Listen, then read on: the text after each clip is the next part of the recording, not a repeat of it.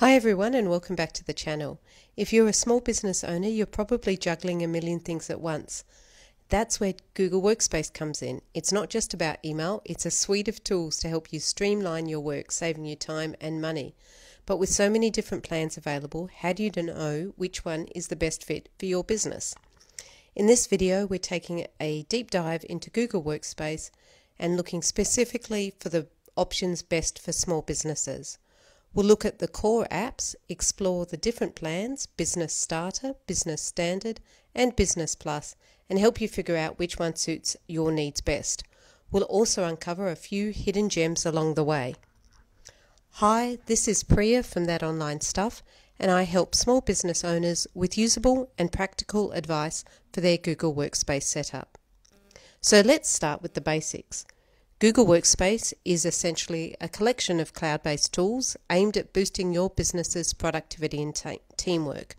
You're probably familiar with some of the apps already Gmail for professional email, Calendar for scheduling, Drive for cloud storage, Docs for word processing, Sheets for spreadsheets, and Meet for video meetings. What's great about these tools is that they work seamlessly together.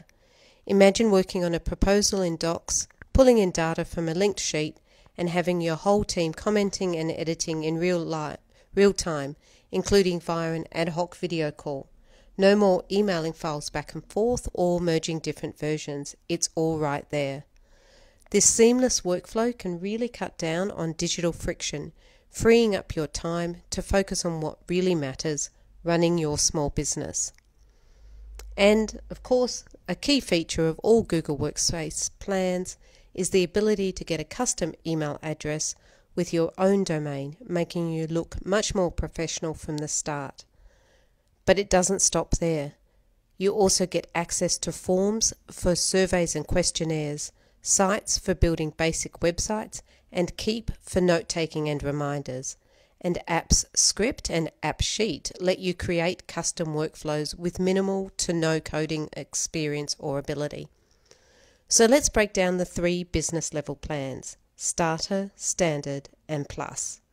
Business Starter comes with all the core apps, the ability to hold 100 participant video meetings, and 30 gigabyte of storage per user.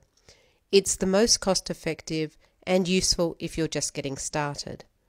There are similar, some limitations though to the core apps as you can see in this video, namely no video recording or noise cancellation options during a video call, along with a missing raft of other nice video features. There's also no e-signature options for documents and PDFs, no appointment booking pages, no email layouts and mail merge ability, and you can't create custom branding for document and form templates. So the next one up is Business Standard, which is actually quite a big step up. Here you get 2 terabytes of storage per user, which is a huge difference. And this extra space makes it much more suitable for any business dealing with lots of data and media. But it's not just about the storage. Business Standard also unlocks a number of premium features such as meeting recordings and transcriptions, as well as polling and Q&A, moderation controls, hand raising, and breakout rooms. You also get the ability to request e signatures in Google Docs and PDFs, send approval workflows, create appointment booking pages so external clients can schedule time with you, and the ability to charge for those sessions directly through Google Calendar. Creating email templates and doing mail merges inherent within Google, Gmail. You also get Google's AI assisted video creation tool, and there's a video on that coming out very soon for me, and some additional security features. Now, let's look at Business Plus. This is where you get into the more advanced security and compliance features. Perfect if you're scaling up and need these extra protections. You get a whopping 5 terabytes of storage per user, but the real reason for getting Business Plus, if you're not a large business, is Google Vault and eDiscovery. Google Vault automatically retains your records so you don't have to scramble to find old emails or documents. eDiscovery helps you search through all your data when you need it for legal or compliance requests. So, Business Plus is primarily about peace of mind, knowing your data is safe, secure, and compliant. It also comes with enhanced meeting options, allowing for up to 500 participants, and enhanced management of mo- mobile devices.